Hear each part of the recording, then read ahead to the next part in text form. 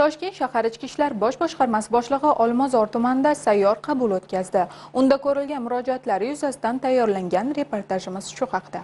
Olmazor tumani 3 sektor shtabida o'tkazilgan xalq bilan muloqotda toshkent shahar ichki ishlar bosh boshqarmasi boshlig'i va tuman hokimi ishtirok etdi. 36 nafar fuqaroning murojaati o'rganilib 22 ta masala joyida hal etildi. Qolgan murojaatlar yuzasidan mas'ullarga topshiriqlar berilib muddatlar belgilandi. Jumladan ayollar daftarida ro'yxatda turuvchi 10 nafar ayollarga o'z o'zini band qilishi uchun tikuv mashinalari sartaroshlik jihozlari va texnik jihozlar berildi. Narsa pishirishga yordam beringlar deb shu subsidiya orqali narsalarga murojaat qilgan edim.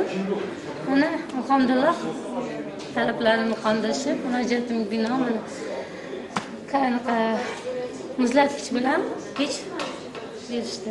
Bular bilan pishiruv pishirib mana misol uchun pishiruvlar har xil pishiruvlar pishirganda kunni issiq kunlarida misol uchun biskvitlar boshqa холодильникda turmaydi. Морозилкада bo'lsa bir ikki kun e, kremlar bilan yaxshi turadi a biskvit pishirish uchun pech kerak.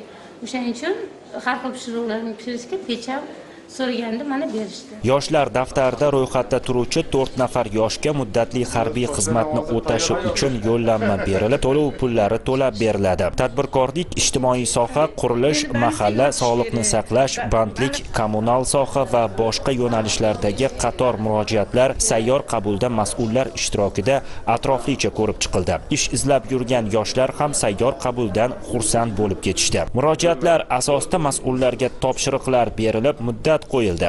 Ta'kidlash o'rinliki bu kabi muloqotlardan maqsad bitta olib borilayotgan islohotlarni har bir fuqaro o'z hayotida sezishi kerak. Bu kabi qabullar poytaxtimizning boshqa tumanlarida ham o'tkazilmoqda.